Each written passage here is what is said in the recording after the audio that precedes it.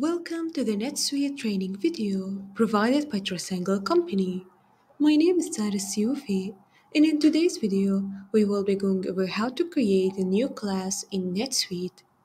Classes are created to track and separate records, and after creating the classes, it can be selected on the entity or transaction level, and you can track your reports by each class over any time period. And to create a new class, go to Setup, Company, Classes, and the click New. First, enter your class name. If this subclass, choose the parent class. Subsidiaries. You can associate classes with one or more subsidiaries, and to do so, hold Ctrl key on the keyboard, then choose your subsidiaries.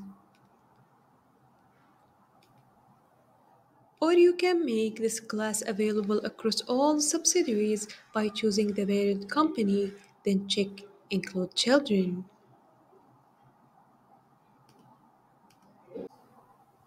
When you finish, click Save. Now going back to our list, you can also export classes as Excel or CSV. Thank you for watching. This video was brought to you by trustangle team.